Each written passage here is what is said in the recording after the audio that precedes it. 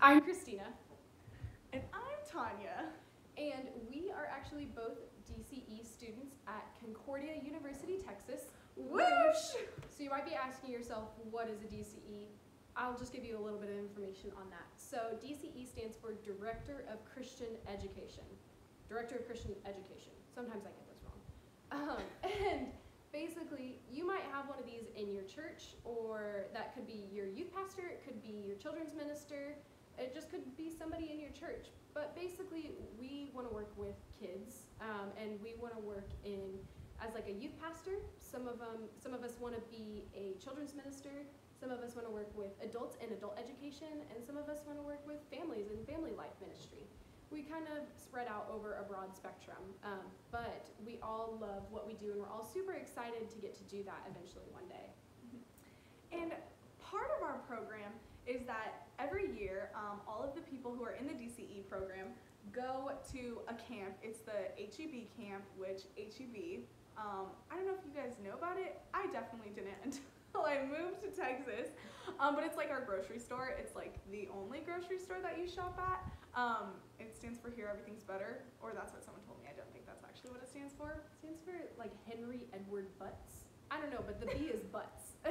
um, but anyways, we go to their camp, um, and it is this super awesome opportunity for all the DCEs, um, all the DCE students from all the years to get together um, and just get to know each other. And um, it's like super like relaxed schedule. Um, we have mentor walks and swimming time and free time and Bible studies and just all kinds of things that we get to look forward to. Um, and it's just a super awesome opportunity for us to get to know one another. It's the major bonding event. It's the um, place where you really get to know all of your peers um, and just get to do a lot of super cool things. And so it was one of the things that I was most looking forward to as a first year DCE student. Yeah, I was super excited because not only had I been before, this was actually my second year. So I was a sophomore and I was so pumped because I didn't have such a great time my freshman year. So I was super excited to get to do that again, start a clean slate. I got to meet a bunch of new freshmen, a bunch of new people that were coming into the program, people that I would have classes with and just get to see on a regular basis but also build better relationships with those that I did have classes with and get to know just the people that I was with. And so we had so many opportunities to just like hang out. We were all placed in small groups um, with small group leaders that were different seniors and juniors um, within the program. So we really got to build those relationships with them and get to talk to them a little bit more, which was an awesome opportunity. And I really enjoyed doing all that kind of stuff. And I was super excited just to get to meet um, some of those juniors and seniors, especially, so then they could talk about like what they're going through and like what our jobs and what our lives look like. I guess in two or three years for some of us. And I was also super excited to get to meet all the freshmen because then we just get to like build some of those new friendships. And I was super pumped to just like have some new friends, like get to do stuff and like get to hang out. We all got to like live together for a couple of days. We got to like sleep in bunk beds, stay up late, and it was just kind of like a, a fun girl time in the cabins. It was like summer camp, honestly, but for just like a few days. And I had worked at summer camp before I got there, and so this was just like supposed to be like a little piece of heaven because I loved summer camp so much and I loved working there. So I was super excited for these two or three days because it was supposed to be like a little piece of heaven, like a little piece of camp back in my school time, but with all these people I would spend my next few years at school with. And so I was just over the moon, like excited to get to meet people and get to do this experience with. And then we got there. Don't get me wrong, the DCE retreat was still so awesome, and the highs were so high. Like, I met some of my absolute best friends my first year. um, and there were so many fun times. I mean, we had an indoor campfire because it was raining, and I tried a s'more with a Reese's on it instead of a chocolate on it for the very first time. Um, we got to swim in like some little water hole thing um, and jump off of cliffs into it, which was just such a like over the top experience, just so much fun. um, we got to do a lot of things that were so so awesome. Like like I said, the highs were so so high. Yeah, I'm so thankful that we got those experiences. I really wish that more departments and like more people would get to do that kind of stuff because it took our relationships from just in class like ah that's my friend and my acquaintance in math class to hey that's like my real friend like we hang out and we like do things. And it helped us to like build some of those deeper relationships and just really get to know people on a more personal level rather than just like in classes and stuff. So i'm incredibly thankful for like our professors and the students that set this up for us because like it was such an awesome time. There were really great things that we got to do. Like I specifically remember like um, whenever it was like raining the entire weekend that we were there, which kind of sucked. But it was super cool because there was one morning where we had kind of gotten up early. We had gone on a hike. It was a sunrise hike, and um, the sun kind of was coming out of the clouds when we got to the top of the mountain. Kind of wasn't, but then all of a sudden the sun just like split through the clouds and for like a brief moment there was just sunshine on this mountaintop and we just got to sit um, with all of our peers and our classmates and just watch the sunrise and enjoy those like few moments of just like pure bliss and like happiness and afterwards i remember we went down started raining again and we just like stood outside and we had our cups of coffee and we ate our breakfast and it was just such like a beautiful outside moment of just getting to really like bond with each other during that mm-hmm. and stuff yeah, and I'd go again a thousand times. I will never skip a DCE retreat regardless. Um, they they were so awesome. They have been so awesome. Even they just super rocked. But, but it, was, it was the lows for us. Those were really low. I remember walking away from that experience and just only remembering the lows. Like I just felt really sad and just I didn't feel like I fit in or I belonged like sp- specifically, I remember we had an indoor fire. Um, it was just in a big fireplace, and because it, because it was raining outside, and we were all sitting around, and we had this opportunity to go around, and everyone was supposed to share something that they were super thankful for from this retreat, um, and just kind of something along those lines. And everyone went around and they shared, and it was all stuff like I'm so glad that we're such a big family. I love that we all get to hang out together and that I can just be my real true self with you guys and that everyone just accepts me and I just feel so loved and so welcomed.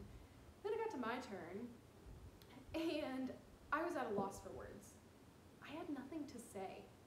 I didn't feel loved and welcomed and like I could be myself with these people. I felt left out. I felt sad. I felt like I didn't belong. This was supposed to be something that was supposed to be super exciting. Like, we were supposed to be like the cool kids. Like, this is supposed to be fun. And I didn't feel that happiness in, in that at all. I felt just sad and I felt lonely. I felt like God had like dropped me off in this retreat and said, Peace out, Christina, good luck. Like, I'll see you next time. And I just didn't know what to do in that moment. It just felt like a huge trial for me. Yeah, the DCE retreat overall was supposed to be this mountaintop experience where I didn't lose my smile for a single second, and there was glitter in the sand and peaches on the trees. Um, but it quickly turned into something that had some trials in it, and in those trials, I was sad. Um, but I I knew what God had to say about trials, and He says Consider it great joy, my brothers and sisters, whenever you experience various trials, because you know that the testing of your faith produces endurance. And let endurance have its full effect, so that you may be mature and complete, lacking nothing. Um, and when I thought of this verse, it stopped making sense to me. This verse didn't fit in my brain anymore because I felt sad and I knew that it was okay to feel sad. It's okay to feel sad. But in this verse, I was being told to be happy. And I was like, how can I be happy and sad at the same time? That's not a thing that happens. You can't be happy and sad. Yeah, like in those moments, where was that happiness? Like I felt so low. Like I felt like I was like at at the depths of a pit and just felt so completely sad. How are we supposed to feel happy in those moments? Like where is this happiness coming from? Where is this joy coming from that he speaks of so much in these verses? But our God, he he's so intentional. He's so intentional with his words. And definitely in this verse, I think he was showing us, reminding us that joy is not happiness. There's a reason why God put the word joy in this verse and not happy. He didn't say, be happy, brothers and sisters, when you face trials. He said, consider it great joy. He didn't say smile in the depths and put on a happy face. No. He said, consider it joy. So, where is joy even found? Psalm 16 tells us, You reveal the path of life to me. In your presence is abundant joy. At your right hand are eternal pleasures. This tells us that joy isn't happiness, it's being in God's presence. And then Psalm 94, verse 18 says, When I said, My foot is slipping, your unfailing love, Lord, supported me. When anxiety was great within me, your comfort brought me joy. Joy still isn't that happiness, it was found in the comfort of Him. And Proverbs 10, verse 28 says, The hope of the righteous is joy, but the expectation of the wicked will perish. This tells us again, joy is not happiness. Joy is the hope of the righteous. And then finally, in First Chronicles, chapter 16, verse 27, it says, Splendor and majesty are before him, strength and joy are in his dwelling place.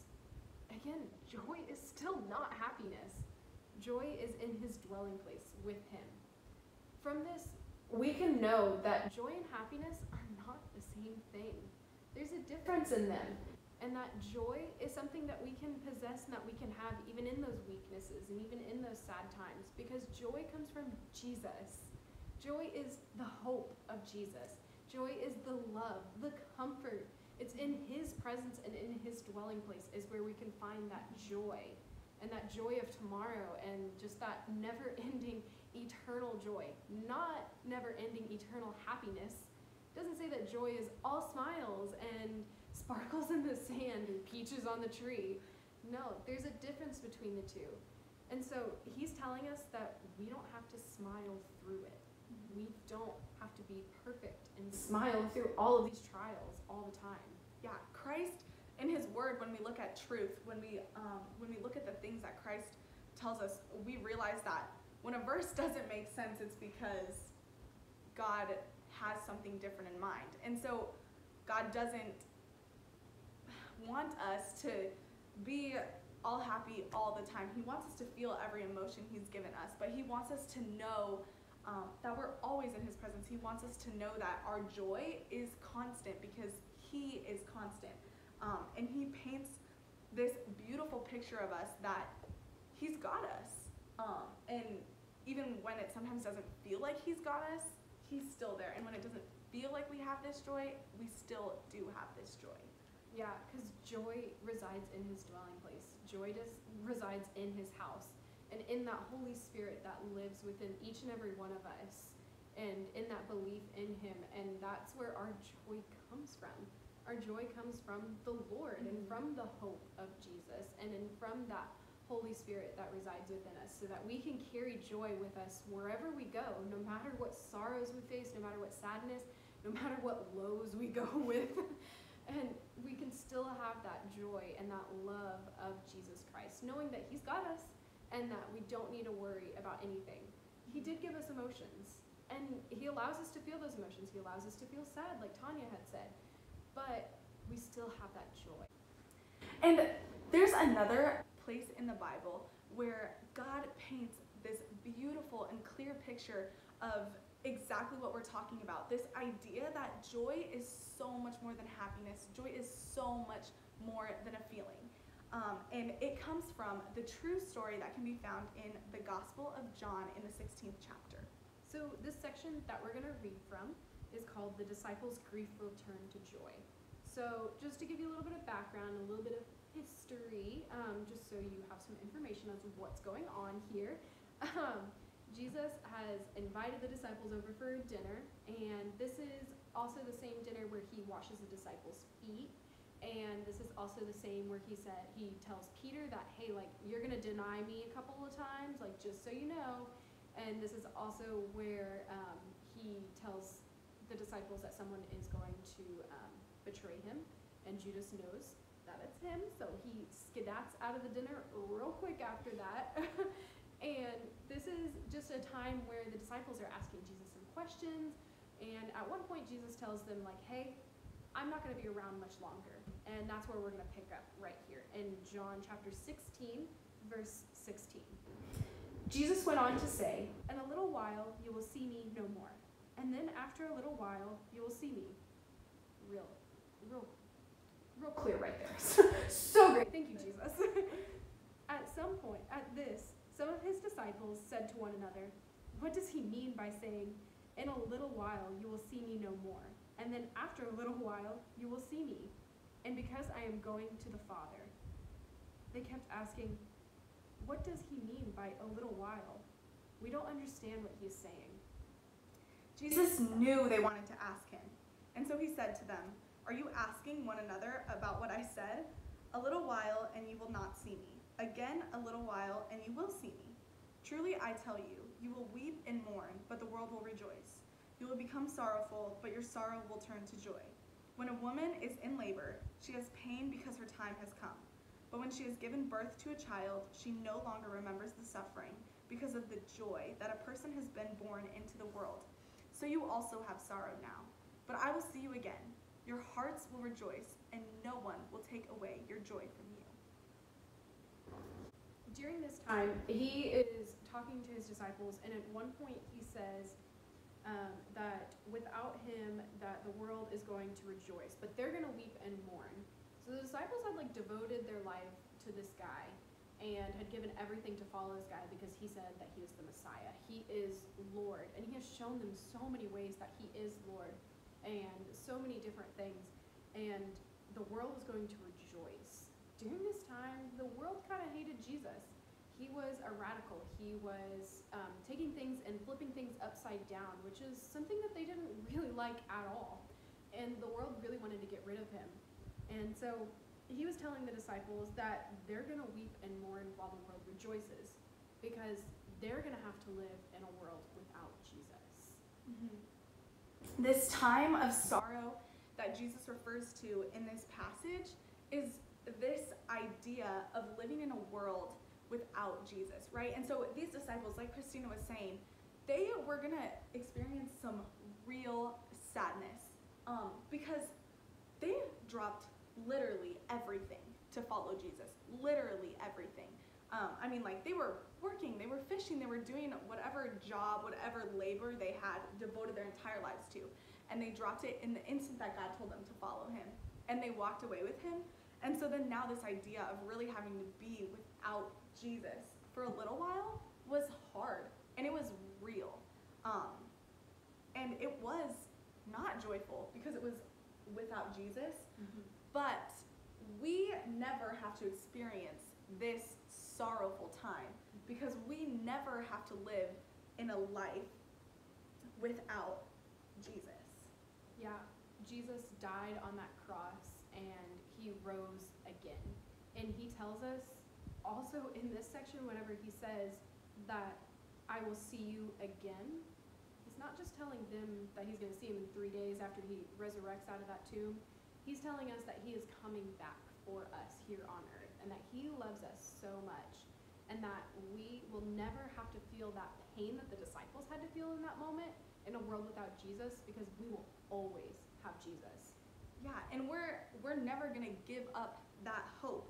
And not that the not that the disciples disciples had completely given up their hope because they knew what Jesus said to them, but they didn't know exactly what was going to happen. They didn't get to know the end of the story, but we do get to know the end of the story.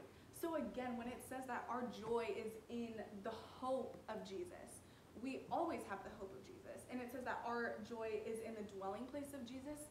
Well, we know that Jesus dwells within us, and so that joy is always, always, always going to be within us. Mm-hmm. And it especially points us back to the cross. And when Jesus died on the cross, his famous last words the things that um, we think about probably in so many Bible studies that we've done. The words, it is finished. And when he declared that, he declared, it is finished. This feeling of sorrow, it is finished. You're never going to have to experience a life without the hope of me and the joy of me. Mm-hmm. He doesn't tell us that we're not going to feel sorrow, and we're never going to feel sadness, and we're never going to feel pain. He tells us in James that we're going to go through trials, and we're going to go through tribulations, and we're going to have pain, and we're going to go through all of these horrible things, but we will always have joy because we always have Jesus. He said, It is finished. Therefore, we will always be surrounded by Him. And when He spoke those words, we had the Holy Spirit within us. And He was saying that you on earth will no longer have to feel that pain and that sorrow Mhm. without joy, without the hope of Him and the hope of Him coming. And he says, No one will take away your joy from you. And he means it. He means that even when someone makes you feel sad, they don't get to take your joy. Even when someone beats you down, they don't get to take your joy. And that is so awesome. And that is a true promise.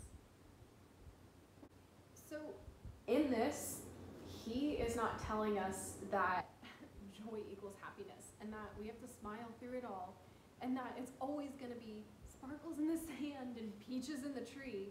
No, he's telling us that joy is something that is going to be there even through the pain, even through the sadness, and even through the sorrow. So that joy and happiness and that excitement and that beautiful, perfect smile all the time are not the same thing. Mm-hmm. Life is not going to be a piece of cake. It wasn't, it's not meant to be. I mean, we're meant to face trials so that way we can draw nearer to our Lord. And even though it's not fun and God doesn't want us to be sad, He doesn't want us to be sorrowful, that's the reality of the broken world. But we still have Jesus in all of it and we learn and we grow so, so much from it. hmm And especially in today's day and age, like this world is so uncertain. There's so much sorrow and so much pain that surrounds us on our day to day basis. And there's so much uncertainty. Uncertainty for the future, uncertainty for next week. I haven't even I don't even know what I'm gonna do tomorrow sometimes. Like it's it's all just a mess all the time it seems like. And we don't know what to do sometimes, but we know that this is truth. And this truth tells us that through those pain, through that sorrow, through that uncertainty, we will always have joy. And that we can always be certain of that joy. And that that joy will last and stand through all trials and tribulations. Just like whenever we went on that DCE retreat, that like there was sorrow and there were lows, like lows. But looking back on it, we can finally see those highs. And we can finally see the joy that came out of that. And sometimes we're not always going to see the joy. And sometimes we're not always going to feel that joy. We're going to go through pain and we're going to feel like we're lost and that God isn't around. But we can always know that we have joy because He tells us we have joy. Yeah, we have truth in our hands. Truth, unchanging truth, unshakable truth, undeniable truth here. And this truth tells us that sometimes we might feel like we're far away from God, but God has never left us out in the dust. He's never left us on the other side of the shore. He's never let go of us. He always has us. He's always right there next to us. And truth tells us that sometimes we are going to feel like we are so far from joy that we'll never feel again.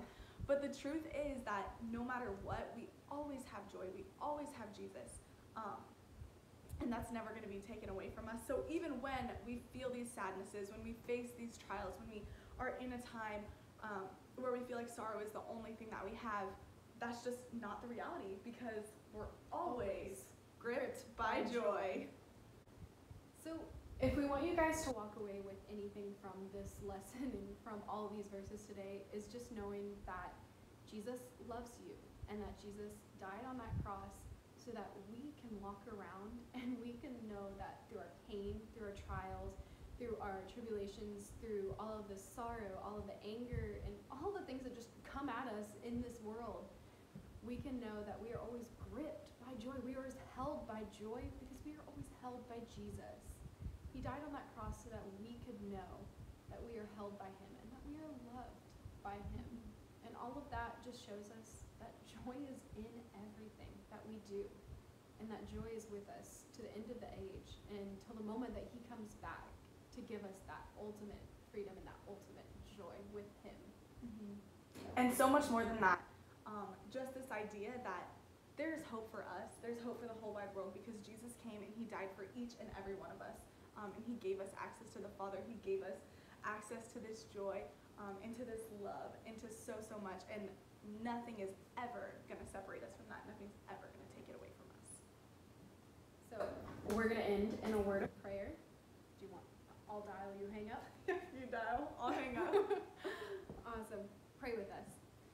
Dear God, Heavenly Father, um, we just thank you for this day. We thank you for bringing all of us together on this beautiful planet. Um, we thank you for the breath in our lungs and for the feet that we have to stand. Lord, I just, I thank you for just the blessing, the many blessings that you have given us on this earth, Lord. I thank you for joy, Lord. I thank you for this never ending joy that just lasts through the days and through the age. And Lord, I just thank you for for dying on that cross, for sending your son to die on that cross for us, and that you had our name written on your hearts whenever you died on that cross for us, and that you just, you love us, and that you love us so much that you gave us joy to feel and to have through all of those pains and through all of those trials, and that you were just thinking about us whenever you went through so much pain and went through so much hardship, Lord.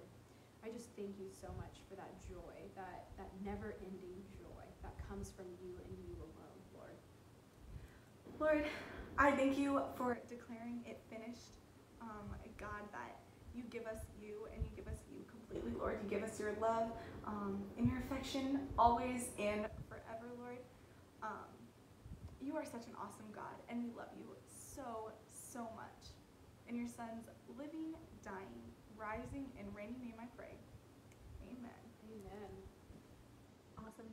So, guys, we want you to go out there and live life like you're gripped by joy. That doesn't mean you have to smile all the time and that you have to be perfect all the time. Even though we know you are perfect and you are beautiful, you Through don't- Jesus. Through Jesus, through Jesus, you don't have to smile 24 7. You can feel pain, you can feel sorrow. But just know that you are gripped by joy.